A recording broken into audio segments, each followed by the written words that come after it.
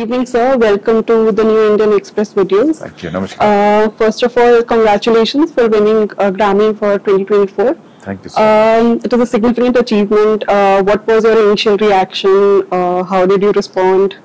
well, the reaction was uh, I was a little bit lost, you know, when the name was announced. We were, I was thinking that okay, we might get it because uh, having a very big names in the album, uh, Ustad Zakir Hussain, Bela Fleck, who was already like uh, 16, 17 Grammy Award winner, Edgar Meyer. But uh, being present there in live, the category which were competing a album, which was amazing, a great service, little spectacle or little fear that whether what will happen now. But when the name was called off, uh, the first reaction was, wow. And uh, believe me, uh, the first thought what came in my mind that uh, I'm taking something for my country through my music, you know, and then especially Indian bamboo flute. Yeah, right, sir. So this actually puts uh, Indian classical music on global map, specifically for the upcoming generation. Definitely, yeah. Um, so could you elaborate a little on how do you view this particular achievement in the sense that it connects Indian classical music and you have also uh, collaborated with other uh, artists who have, uh, you know, taken influences from Western music. So how do you see that? Well, it was quite difficult in the beginning to understand the different genre of music and Yeah. and then what I can do with my instrument, flute, which is uh, you know it's uh, technically it's just one and a half octave instrument and the other instrument which covers four octaves, four and a half octaves. So the notes, which is uh, so we have to figure out how to do it. Keep changing flute in between the pieces. That was a little task, and uh, it's, it is still. But uh, I think one thing uh, the Westerners like it the sound of the instrument. I think it gels with anybody, any kind of music, whether it's uh, a, a jazz form, or rock form, or or uh, divine kind of music. It goes very well, I think, and also is next to the voice. So uh, these are all technical things, but uh, for the young people that who never thought about playing classical or playing live music in flute also can reach to Grammys, you know. So it's a very big en- encouragement, you know, for them. Oh, anybody can get it if we work hard and, and if we go in the right direction. Right. So would you talk a little about the album uh, that won this award? Uh, Uh, this album is called As We Speak, and uh, two years back we started touring, and uh, we were touring uh, mostly United States, and uh, also we did a small tour in India and Bangladesh and Dubai. I think three four years back. I'm talking all of this before lockdown, and then uh, suddenly we decided to you know record this uh, all the pieces because now we were very confident in what we're doing and what to do and what not to do. So we recorded in uh, us only in nashville. And uh, the best part about this album is nothing being read up or any correction. It is all live. So we just recorded like three four three four times one each song and we kept whichever was sounding best. So that way it, it took us i think two to three days two and a half days to record i think 12 songs but again uh, in 2024 we had cut the album we got nominated and we won it also. So it's a big achievement and i'm really happy Right. So um, your career has been more than uh, about two and a half decades now, and uh, how do you see this entire career, your entire journey? Uh, what were the challenges? What were your pri- proudest moments? Uh, I'm sure this one includes yeah, that. Yeah, but it- it was not uh, so bad. It was nice and pleasant because from the age of five, five and a half, I started to playing with this instrument, not playing, like playing this. This was the only toy, and I, I thank God that at that time, uh, we were not wasting our time with all these electronic gadgets. You know, there used to be just one film, Hindi film, in uh, every Sunday So nothing else to do. You know, Hmm. little bit studies and then instrument because I liked it also.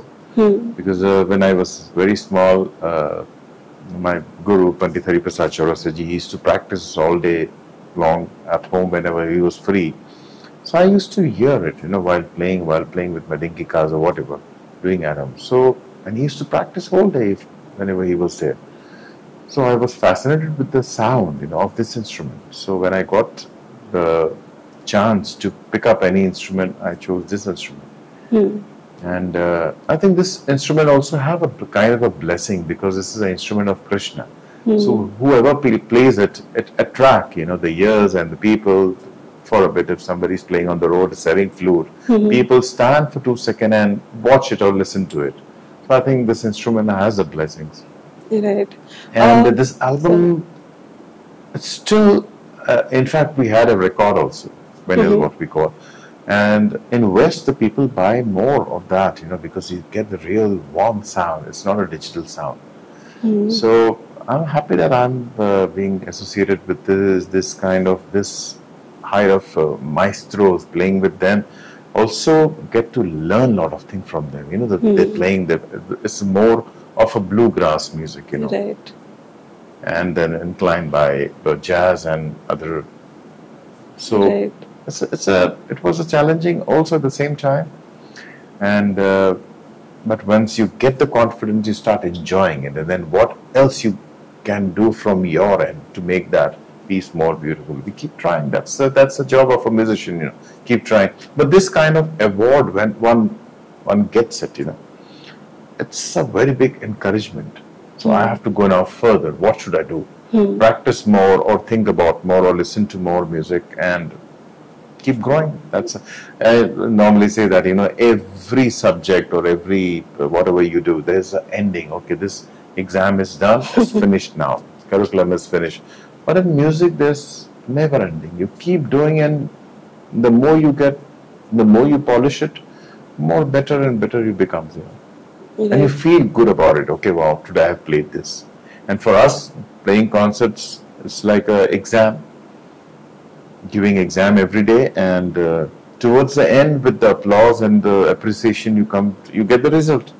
How was the exam today? So it's like daily, every day you do Right. So you don't see it as a challenge, but a chance to improve. a chance to improve, and then uh, your practice ability uh, allows you to do, take challenges on stage. Hmm. So for that, we have to practice a thing and be in the music all the time. And because I love music, I love every you know a bit of thing which is attached to music, traveling, new places, meeting new people, new cuisines.